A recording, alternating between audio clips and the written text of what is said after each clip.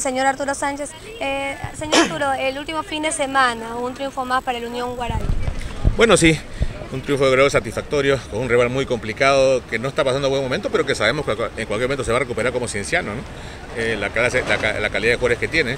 Eh, un triunfo, como digo, muy duro, 1 a 0, pero que nos permite seguir en, lo que nosotros aspiramos de estar en el grupo de avanzada y, vamos paso a paso. Ahora nos toca un partido también difícil en Piura, un equipo complicado como el Grado, en una cancha sintética, con el calor de Piura a las 3 de la tarde. Ya esperamos sacar todo adelante y, seguir el camino que hemos dicho de un inicio va a ser largo y, la idea de todos nosotros es estar en el grupo de avanzada entre los siete primeros para el fin de campeonato. ¿Hay aún jugadores lesionados? Sí, sí hay lesionados. Lamentablemente tenemos muchas complicaciones. Lo vuelvo a reiterar otra vez, una cancha cada vez está en peor estado que nos trae lesionados y muy aparte de eso, eh, justamente ayer se ha operado este, Luis Benedito Aguirre, hemos operado ya, ya van tres muchachos que hemos operado en esta, este corto periodo, eh, eh, es, difícil asumir no solamente que no esté en el equipo, sino los gastos que nos va acarreando, ¿no?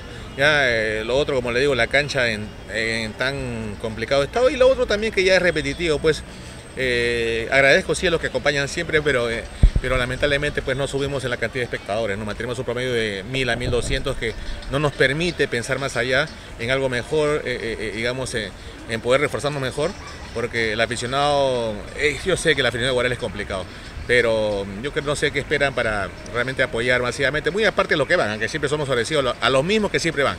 Nos pidieron que bajemos las entradas, en Popular las bajamos a 15 y si ustedes vieron pues no fue nadie Popular.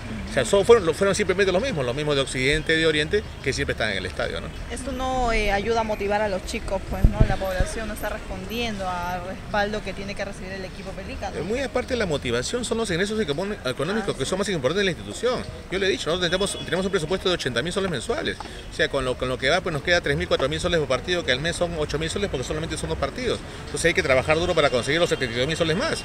Encima tenemos lesionados, hemos estado operados, ya con esta operación son 25 mil soles en, tres jugadores que hemos estado en operaciones. O sea, y eso sale de, tenemos que conseguirlo sí o sí, no podemos abandonar los chicos. Ya eh, tenemos que ir el día a día, la lucha constante y, trabajar esto porque sabemos que si no cumplimos con los jugadores a fin de mes, si no apretamos las planillas nos van a quitar puntos. Es todo eso, eso, eso es parte del reglamento. Entonces la gente debe entender que debe apoyar más el equipo. Estamos viendo la posibilidad de jugar en Chancay, porque ya el técnico ya nos dijo, nos pidió por favor que no podemos jugar en esta cancha. Esa es una cosa que, es un punto muy negativo. Vamos a darle la posibilidad de jugar el próximo partido en Chancay, ¿no? Pero primero vamos a este, ¿no? Este que jugamos en, en, Piura con el grado, ¿no? Pero si bien ¿Se ha podido gestionar el apoyo? ¿De repente ha habido ya documentación en la municipalidad? Bueno, ya lo he dicho ya públicamente muchas veces, ¿no? O sea, ya, en esta municipalidad no se puede hablar con nadie.